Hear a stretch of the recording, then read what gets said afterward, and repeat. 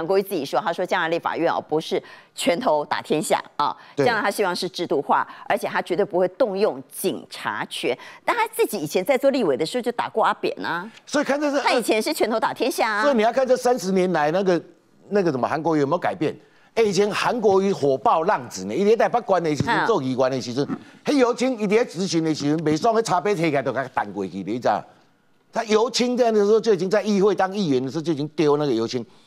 接下来你说在立法院里面，那个一九九九三年哦，五月那是阿，扁有够笑人呢，你看，哎对啊，这迄个时阵就是哇，真的是火爆浪子哎！因为我们放到画面来，对啊导播放到画面这个珍贵的历史镜头哈，要来认真看一下。因为那时候在讲那个退辅会的今天幽默的韩国瑜过去是火爆浪子他才以前火爆浪子啊，认识他的人都知道啊。哦，对不对？以前哎、他平常很搞笑，对不对？私底下你呢触动什么东西的话，以前是武州的，不是文州的就对啊啦。泸州的，伊以前嘛是武州的，伊伊暗时啉酒啉酒跳舞娱乐嘛，对不对？他 早上就在立法院里面，就是动作就有那个打。架冰的，对啊，你看那时候就是因为退补会的预算有没有？陈水扁讲了一句话说什么？呃把笼包当猪在养有没有？哎，韩国一听到的会多啊呢。嗯，他以前是那个黄复兴党部的嘛。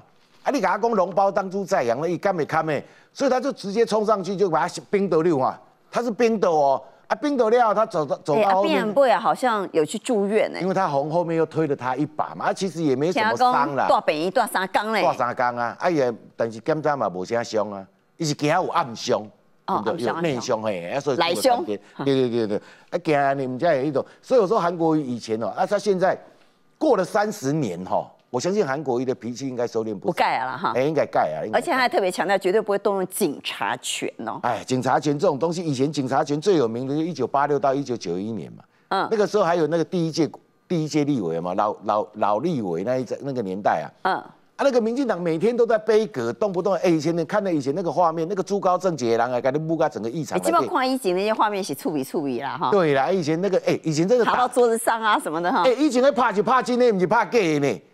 那个时候那个梁你看那时候，警察全部排排站，然后拿着那个透明盾牌挡在那里。哦，这个是后来是因为郝柏村在那个执执要市市政总值那个市政报告你看你看的时候，要在盾台后来报告做施政报告，然后警察把这个盾牌举起来，你看这个历史画面哇，触笔。哎，想当年在立法院里面打这个是打真的，不是打假的，你知道？干嘛呢？啊，真的啊，白天打一打，晚上手牵手去喝酒。哎、是没有错啦，可是打下去的话，还弄今天就会流过财有无？哈他胸口被人家等了给，哎、真正凹青，你知道？啊，那个梁树龙还被人家打了一巴掌嘛，啊，所以你看那个时候真的是打下去，那个声音都录到了哦、所以以前那个时候他们只能动用警察权，哎、可是你说我刚才讲说哦，一九八六到一九九一那个时候是第一届立委的时候，那个时候动用警察权总共动用了六次，你知道吗？那可是我说实在话啦，啊在立法院里面哦，哪一条立法院组织法里面有讲到警察权？它里面只规定说，立法院组织法第三条第二款里面，他说什么？院长应本公平中立原则维持立法院的程序处理议事啊。嗯，啊，他没有讲到警察任何问题啊。那为什么敢用警察权？那其实就在立法院警卫勤务规则第五条，是里面的警卫勤务呢。这这个是什么？这不是不是一般的那个法律啊，没有经过立院三读的啊。哦，所以它确实有那个争议和模糊空间了。对啊，所以大家就讲说，哎，你看，他就说哦，只要说立法院里面的委员的人身安全或者什么秩序被嗯维护，你就可以招那个警卫警进来嘛，叫那个警卫警察就现在是保六了，那你看那时候太阳花的时候，哎，学生都攻占立院了，王金平坚持不用警察权。因为他们后来我们的民主比较那个什么进步嘛，对不对？他觉得说你今天在议场里面哦，没有到什么人身安全或什么问题的时候，但是你看，你当时已经冲撞成这样了哦，哎而且霸占立法院，用替那个门锁起来哦。有爱的锁起来，哎、以前嘛捌锁过啊，不是第一届啊。啊啊，问题是锁起来，伊伫内底，他没有人人人员的安全问题没有立法员的安全问题嘛，所以他现在有一个，哎、其实那个时候那个陈局有没有那个监察院长？说两千零二十年，对，那个陈局不是要通过那个监察院长同意案的时候，那那一次算不算有用？那个时候是次警察有出动哦那。个时候在议场外面，而且那时候警察很多哦，不仅保六哦，保一、保保三、保五的都来啊。那时候支援很多上千名警察，哎因为嗯那个时候就怕说很多，因为很多立法委员很冲动，还有一些民众在外面叫嚣嘛。一想说，哎，陈局长来，规定立法委员如果冲上去跟你执行，在外面质疑你的话，可能会有一些肢体暴力冲突啊。所以那一次算不算动用警察权？后来花妈那一次算不算用了？后来他们界定所谓的警察权有没有？嗯你警察警卫的话，如果在一场外，就是二零二零这一次嘛。对对对，他如果在议场外，陈局监察院院长的那一次对哦，你啊，警察如果没有进到议场内的话，龙胜就没有用。的，对，所以在哦以以后就是大概有一个有有一个规定，大概大家有一个什么约定成熟，就是说你今天只要不进到议场的话，哈，那天我靠维持秩序，哈，那个都不算是动用警察权。不过这种情况还是尽量避免啦，因为公警讲，所以韩国瑜已经讲明了，他说他对将来不会用。对他讲说他接下来四年他绝对不会动用警察权的。其实除了大家在关心他到底会不会认真上班，那他也特别提到说绝对不会动用警察权之外啊，各界还在关心什么呢？我们来看媒体特别谈到说，立院龙头并不是韩国瑜的最后一战。前高市幕僚自己踢爆说，韩国瑜还在悄悄布局南台湾啊。韩国瑜这个立法院长，他努力扮演一个好的立法院长嗯哦。那为什么？因为他真的可能选总统。